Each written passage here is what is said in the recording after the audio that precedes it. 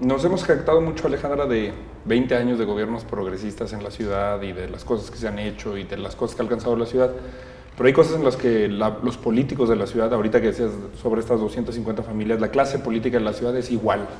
que el resto del país. Por ejemplo, los diputados locales en la Asamblea ganan una millonada. Es una cosa ofensiva para, para la sociedad eh, ese tema nunca se le ha entrado en serio. No se le ha entrado en serio a la desigualdad en la ciudad.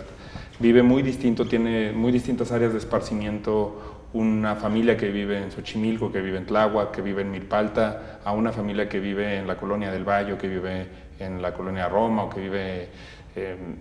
bueno, ya no digamos en Polanco, o en otras zonas residenciales de la ciudad, o en San Jerónimo, o en Las Águilas. ¿Qué, qué autocrítica le haces tú a estos gobiernos en los que tú has participado, a este proyecto, y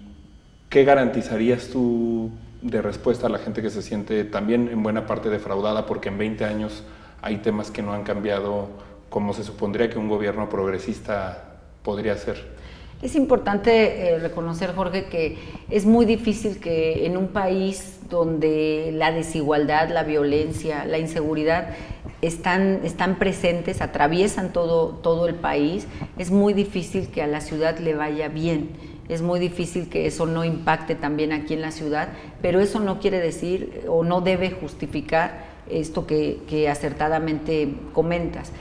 Yo estoy convencida que, tenemos que hacer un cambio de fondo.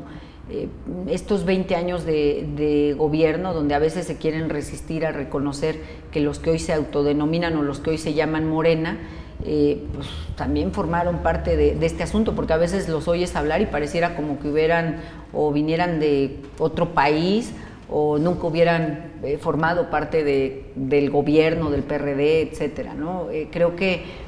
lo que se dejó de hacer en estos 20 años fue el garantizar un desarrollo equilibrado, un desarrollo equitativo que permitiera que efectivamente hoy no tuviéramos eh, una ciudad que pareciera de ricos y una ciudad que pareciera eh, de pobres. Eh, esa parte es muy importante cambiarla de fondo, sobre todo porque esta es una ciudad diversa, una ciudad plural, una ciudad donde la gente puede convivir sin problema en un transporte colectivo. La gente está abierta a, estas cuestiones. Tú ves ejecutivos de, buen nivel, de primer nivel, que no tienen problema en viajar en, en el metrobús, si les garantizas calidad, si les garantizas seguridad, porque aquí la gente no tiene esos, esos problemas. Lo que sí necesitamos es generar esas, esas condiciones, esas posibilidades y nuestro compromiso es eh, meternos en el tema de, de cambio de fondo,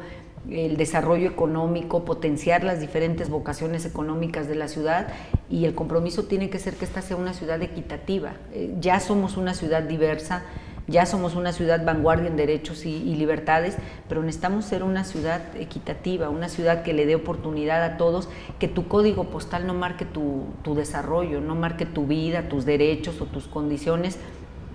que tu código postal no, no, marque si tienes derecho a ir a la escuela o no, si, tienes, si estás condenado a, a, tener una profesión, si como mujer estás condenada a que abusen de ti. O sea, me parece que, que eso es lo menos que podemos hacer por la gente de esta ciudad.